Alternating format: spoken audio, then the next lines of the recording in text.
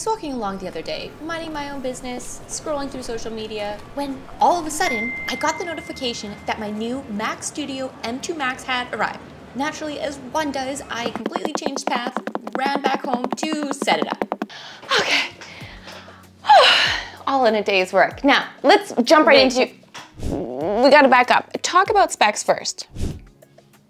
Okay, fine. Let's start by getting into the specs. I got the Mac Studio M2 Max and it has 12 core CPU, up to 38 core GPU, and up to 96 gigabytes of unified memory. I'll put on screen some more stats here that really show the performance that this Mac Studio will bring. I was super excited to get my hands on it. I mean, hence me running back there. And some of these stats are really wild when you think of it from 1.8 times faster CPU performance, 3.6 times faster GPU performance, and 4.4 times faster machine learning. I mean, you gotta have something around machine learning or AI in there. On the front, it has two USB-C ports and also two one SDXC. Then on the back, we have a lot more going on. We have four Thunderbolt 4, we have one 10 gigabyte ethernet, two USB-As, one HDMI, and also two 1.35 millimeter headphone jack. Not to mention, I gotta say, I just love how this looks. It looks so chic when you walk into my office. I feel like it's just very clean and modern and fresh. I don't know, what do you think? I'll, I'll, insert some more footage of it here. You gotta back up again. Dive into freeform. Tell me, I want you to do something complex with it. Let's do what happens when you type a URL into a browser.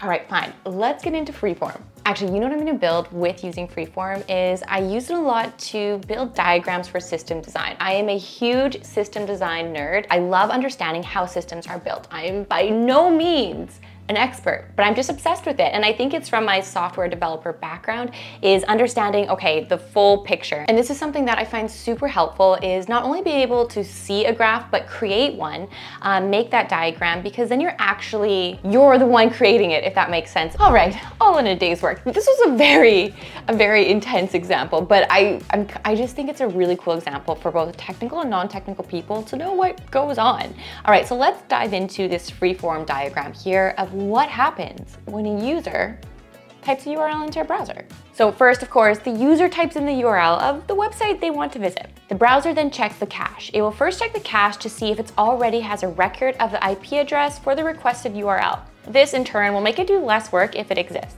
Then, if the IP address is not in the cache, the browser performs a DNS lookup to find the IP address of the server that hosts the website. You can think of DNS, or how I really understood it, as a phone book almost. It's not really that, but it's a way of looking up different addresses, and that's why I always relate it back to a phone book. Maybe that makes me sound really old. Do you remember phone books, like the physical ones? I remember getting phone books delivered to my house growing up. I think I'm aging myself here. Then the browser will send the HTTP request. Once the browser has the IP address, it can send this request to the server. The server then will process this request. It receives the HTTP request, processes it, and sends it back a response. Then in a matter of what feels like seconds, or it is seconds, the browser will render the web page. The browser receives the HTTP response from the server, which includes HTML, CSS, JavaScript files, all the things that we work on. And the browser will render the page and display it to the user. So much going on, but then the end user just takes it all for granted, as they should. It should be a seamless experience, kind of like this Apple computer. Wait, wait, wait, wait. You gotta back up for a sec here. We need to talk about this. Oh, you mean my studio displays? That is a chef's kiss. I am obsessed with my studio displays. I get so many compliments on them, not only for how they look, but the quality, the graphics. It's just amazing. And as someone who takes way too many meetings in a day, which is really unfortunate. It's really handy to have built in this amazing webcam, amazing speakers. I'll, I'll share some of the stats in a second here, but it really helps me. I just, I'm someone who likes everything to look clean and chic and not having to have an external webcam or external speakers, but everything is built in and built in at very high quality. All right, as I promised, let's get into some specs. So we have 27 inch 5K Retina display, 12 MP ultra wide camera with center stage, which is amazing as I am someone, I'm sure you know from my videos, that moves around a lot and it can follow me and uh, wherever I go. There are three mics, studio quality three mic array and six speaker sound system with spatial audio. This is just a dream. I absolutely love it when I am doing the creative aspects, whether it be working on content side of things or whether I am building and coding. It just works so well for my entire workflow from beginning to end.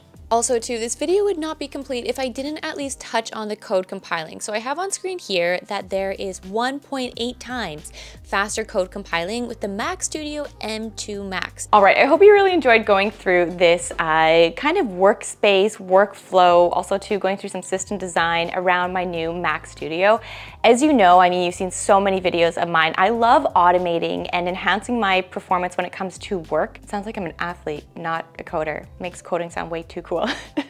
I love tr trying to be as productive as possible when I am working so I can reduce the hours I am working. And we've seen a lot of these videos I create around automating my life with Python or different uh, aspects of my life automating it. And honestly, upgrading to this new Mac Studio for me was an automation in a way, meaning, I don't know if that's the right term, but yeah, we're gonna go with it. Automation meaning it's going to enhance my workflow, it's going to make me more productive, work better and faster. So in turn, it's saving me time. And that to me is absolutely key. Anyways, leave in the comments if there is anything else you want to see about my work setup, about the Mac Studio. You'll see it in a ton of my videos when we're building now. So uh, stay tuned for that. And otherwise, hit the subscribe button, hit this like button, and leave some comments down below because I will respond to every single one of them. You can challenge me on that. Okay, bye everyone.